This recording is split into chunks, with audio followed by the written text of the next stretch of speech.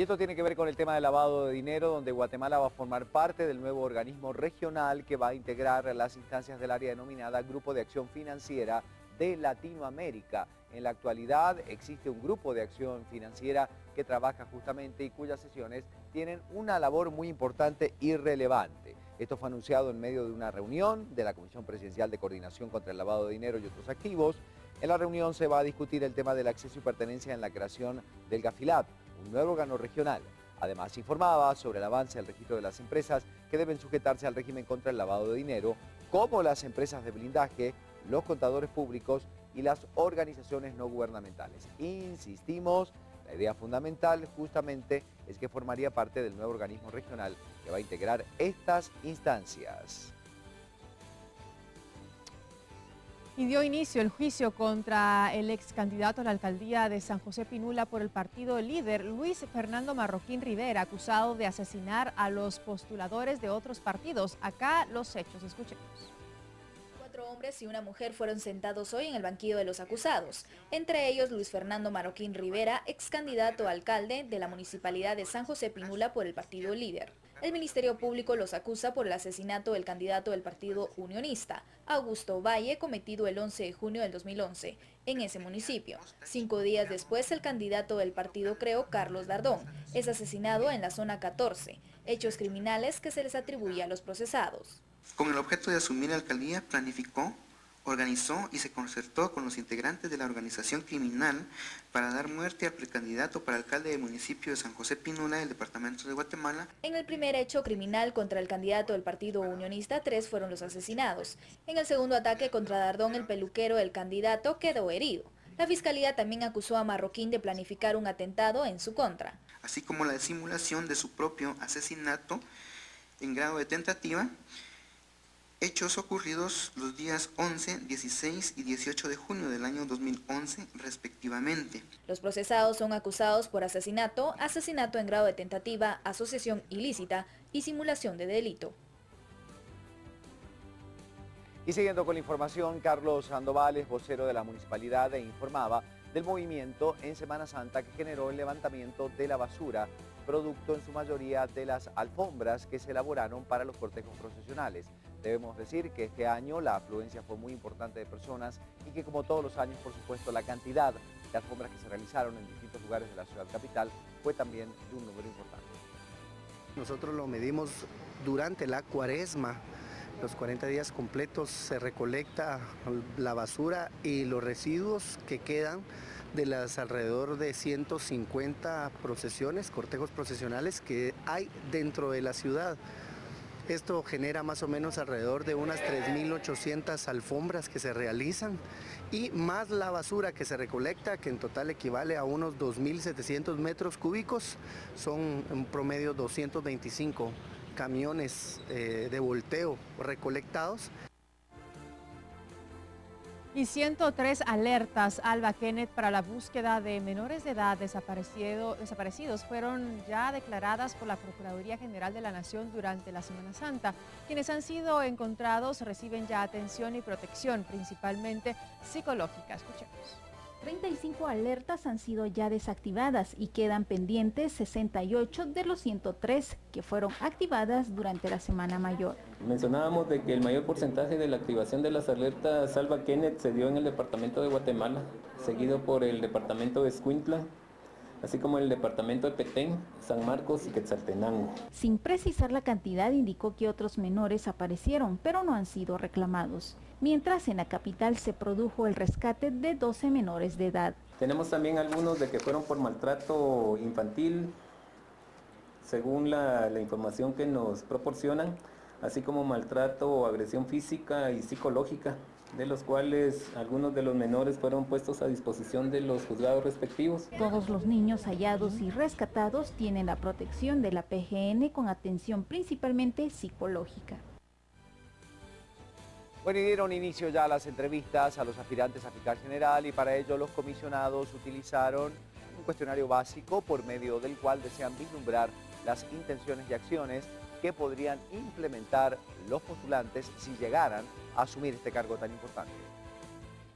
Al ser cuestionados sobre qué acciones implementarían en caso de asumir el cargo como jefe del Ministerio Público, algunos aspirantes resaltaron la necesidad de que los fiscales permanezcan en capacitación constante. Acá la gran debilidad es la falta de atención hacia el fiscal y la gran solución debería de ser que este personal debería de pasar por un proceso eh, de depuración, de profesionalización y de dignificación. Se ha pensado conseguir algunas becas de corta duración para que los fiscales y los agentes fiscales, que son los que representan la verdadera imagen del Ministerio Público, se vayan a capacitar para venir a desarrollar una mejor labor a Guatemala. Hacer uso de la tecnología avanzada, porque es la única forma como vamos a poder lograr no solo mayor información interna, sino sobre todo vamos a evitar que la información que maneja el Ministerio Público sea filtrada a las organizaciones criminales.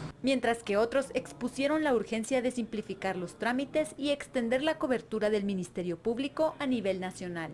Yo he trabajado en los municipios y me he dado cuenta que no hay suficiente personal para llegar a las víctimas. Se pretende todavía que la víctima llegue al Ministerio Público. Y un delito pequeño para un ser humano puede ser para él vital en su vida. Por eso función primera, actividad primera, hacer que todo se persiga. Hay procedimientos muy engorrosos, muy tardados que complican precisamente la efectividad del Ministerio Público. El gran problema de la atención a la víctima que, que de alguna manera se ha estado combatiendo y trabajando en el Ministerio Público debe fortalecerse.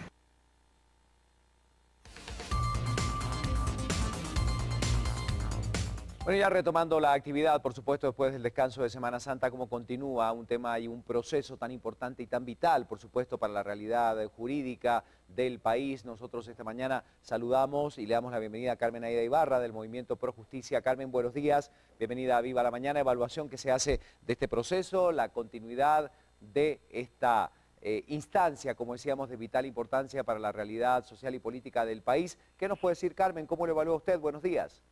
Muy buenos días. Pues estamos entrando ya en la etapa final del proceso de postulación. Eh, mañana miércoles concluye la etapa de las entrevistas y luego esta misma semana tendría que darse la, la calificación de los expedientes a la luz del perfil, a la luz de la tabla de gradación y la semana siguiente la comisión tiene planificado ya concluir el proceso con la integración de la, de la nómina, o sea que vienen días clave. Yo diría que la entrevista es una de esas etapas clave porque escuchando a los, eh, a los comisionados, pues ellos se forman una mejor imagen del, de cada uno de los aspirantes y de los planteamientos que realizan. Por ejemplo, ya ayer había comentarios sobre mm, cuáles o quiénes de los candidatos habían dominado el escenario en el sentido de que habían tenido un mejor desempeño en la, en la entrevista. Entonces, ya, digamos, ayer ya los comisionados se quedaron con una idea de quiénes los convencieron más. Pero falta ver, por supuesto, la calificación de los expedientes y otra serie de consideraciones. Habrá que ver, por ejemplo, un momento clave, cómo van a manejar los comisionados el momento en el que tengan que pronunciar sobre la reconocida honorabilidad de ellos y cómo van a calificar los aspectos éticos. Se presume que habrá una parte muy formalista que reduce la ética y la honorabilidad a, a la ausencia de problemas de orden administrativo, pero también va a haber un momento que es bastante subjetivo, eh, que no hay mecanismos que permitan sacarlo del mundo de la subjetividad, en donde los comisionados van a tener que decir eh, eh, si les parece honorable o no la persona. Y posteriormente viene el momento de la votación para integrar la lista, que es otro momento bastante subjetivo, porque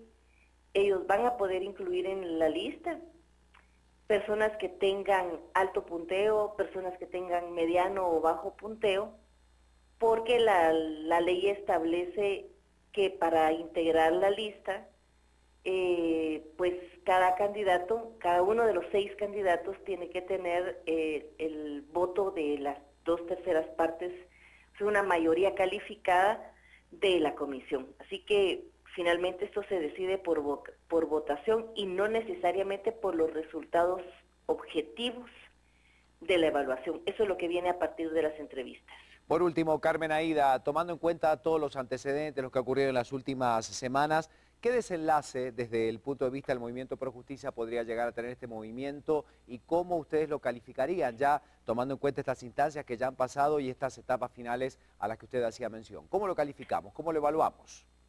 Perdón, Ricardo, el, proceso como tal. Exactamente. ¿Qué, dirían ustedes al respecto pues y qué desenlace puede tener? El proceso como tal va bastante bien.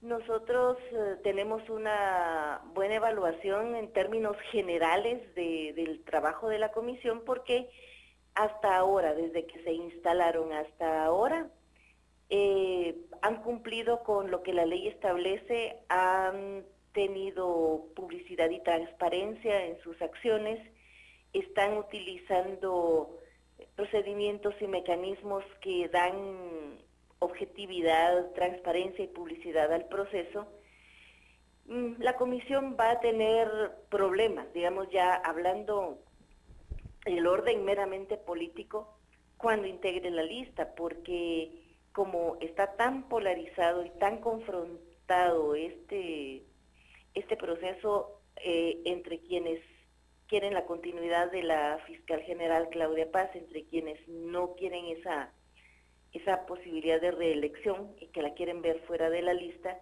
pues entonces la comisión al final de cuentas no va a quedar bien ni con uno ni con otro lado, porque o entra o, no entra la fiscal a la lista, entonces de esa manera serán las críticas que, que reciba que reciba la comisión. Desde el Movimiento Pro Justicia, mm, donde no apoyamos candidatos, pues yo le puedo decir que, nosotros hacemos una buena evaluación del, trabajo que hasta ahora ha desarrollado la comisión. Esperamos que ese momento, eh, esos momentos cumbre que vienen, por ejemplo, la calificación de expedientes y el reconocimiento de la honorabilidad o no, se hagan de manera igualmente pública, transparente y bien fundamentada. Por ejemplo, que la calificación de expedientes no se haga por terna, sino que cada uno de los 26 expedientes sea calificado por el Pleno, porque es la única manera en la que verdaderamente vamos a ver